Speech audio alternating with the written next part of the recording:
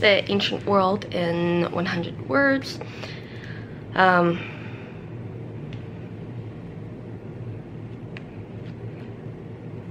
words by Clive Gifford. Uh, pictures by Gosia Herba. Um, so like you're getting things from like ancient Egypt, um,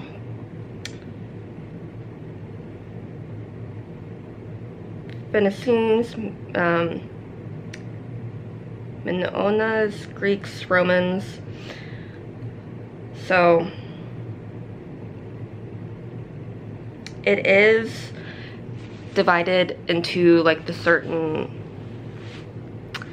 um, group, but some symbols do overlap and um, they do have these symbols like at the top like this is just explaining like the symbols. Um, at the top of the page you'll have like one or like two or three of the symbols for um, like Egyptian or um, or whatever.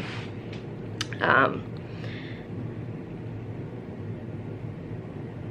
so you got Nile.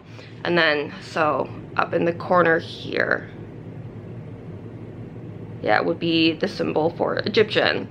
Um, a picture and a brief, brief introduction to it, or like information.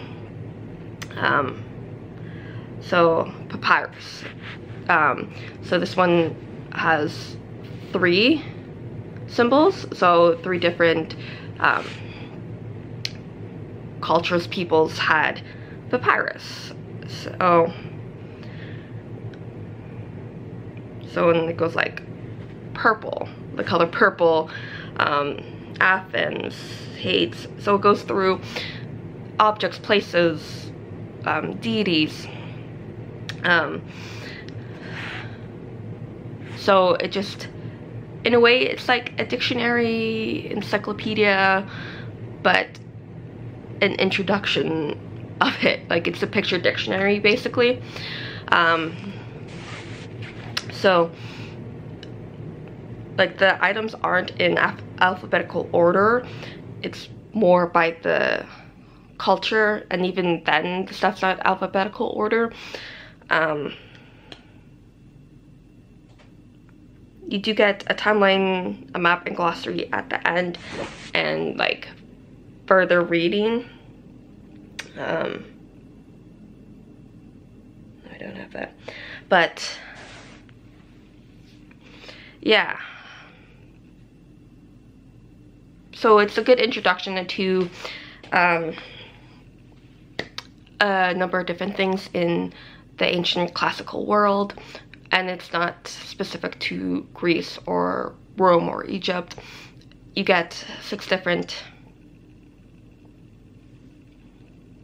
um, places and a few things do in inter oh like overlap and such. So it's a good introduction for um, like kids or if you have an interest in it um, you do get brief introduction to um, 100 different things. So yeah the ancient world in 100 words. Happy readings